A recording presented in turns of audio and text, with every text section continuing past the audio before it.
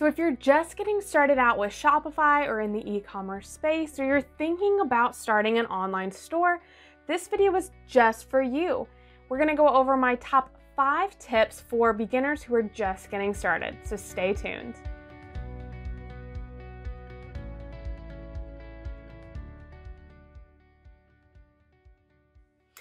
If you're new here, my name is Elle McCann, and I have been a Shopify expert for over six years now.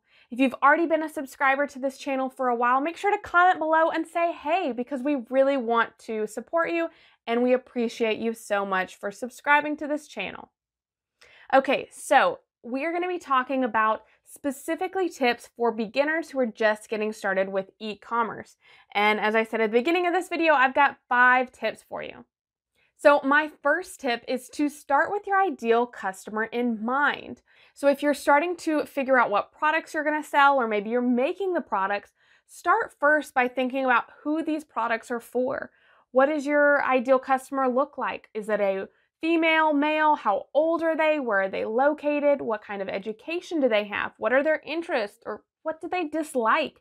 Start thinking of what exactly your ideal customer likes and who they are so it's easier for you to market to them once your store launches.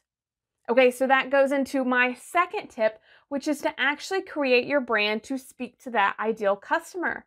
I see this happen so many times of people get so involved in creating their store that they've designed their store to go towards their interests and their personal style. But if you're not your ideal customer, then that doesn't really work, does it? No. So instead, start thinking about who your ideal customer is and then design your branding to fit with them.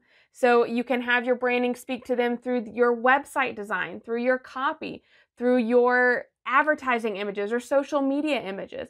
You want to make sure that at any point that someone may connect with your brand or your business, that they're going to feel like they're either definitely your ideal customer or they're not your ideal customer and then they'll just move on. You don't want to waste time on people that aren't a good fit for you and are never going to purchase from you. So if you niche down and make sure that you're speaking to a specific target audience, you're a lot more likely to turn them into customers and then raving fans. Okay, so my third tip is to actually start building out that audience before you even launch your store.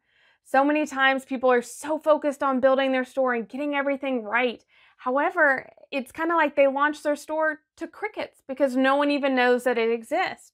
Start first by actually building out your social media platforms and building up that audience. Start getting that community engaged, posting content that's going to relate to them so that once you finally do launch your store, you have an audience already that is more likely to go ahead and purchase from you. So you're going to get more sales at the beginning of you launching your store.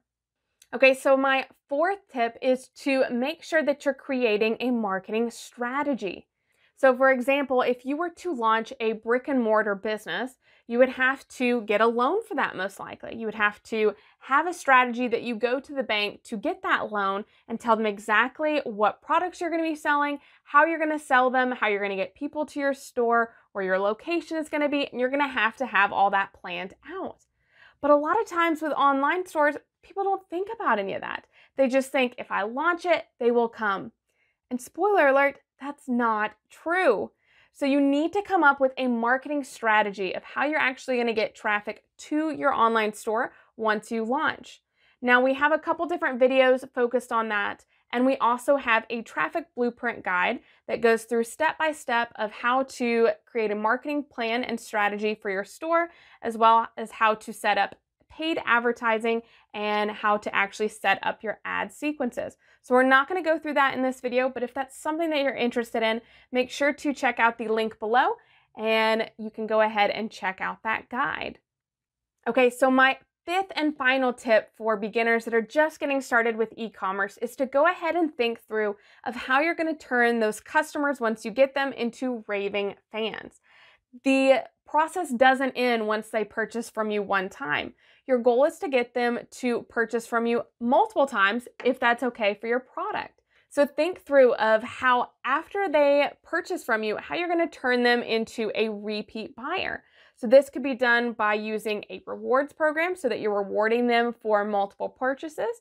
This could be done through email marketing so that you're staying engaged. Or it can go into your actual packaging. You know, when you send your order out, are you going to include any freebies or inserts that are going to wow your customers when they get that package? Are you going to wrap it in a cool way, which is going to be great for Instagram and people are going to be taking photos? Think through of your ideal customer experience from the beginning of who they are to how to get them to your store to then how to wow them once they purchase from you. If you do this and you think of this ahead of time, this is going to really help you not only send traffic to your store, but have them to continue coming back again and again to purchase from you. So I would love to know what you think about this video. And if you're a beginner, make sure to comment below and let us know what are your questions when you're just getting started with e-commerce and we would love to help you.